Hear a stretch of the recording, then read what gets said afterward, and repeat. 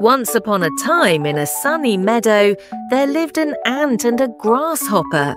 It was a beautiful summer, and the grasshopper spent his days singing, dancing, and enjoying the warmth.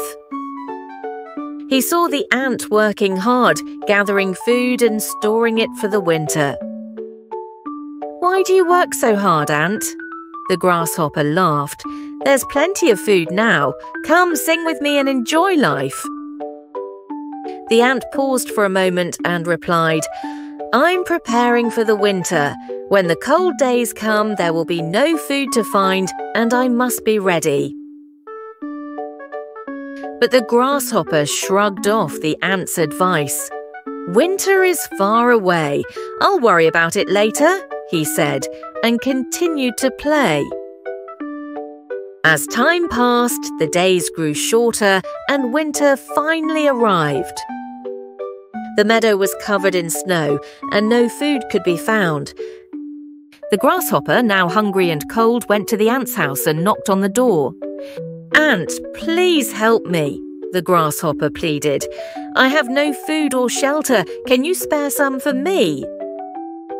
The ant, who had worked hard all summer, opened the door and said, I am sorry, Grasshopper, but I cannot share the food I worked so hard to collect. You spent your time playing while I was preparing. Now you must face the consequences.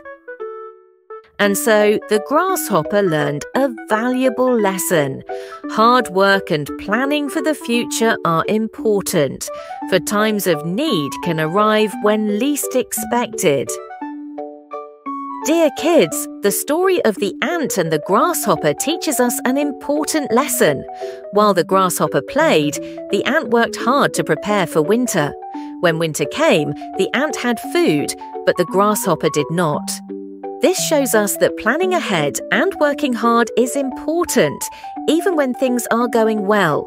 It's fun to play, but being ready for the future is just as important.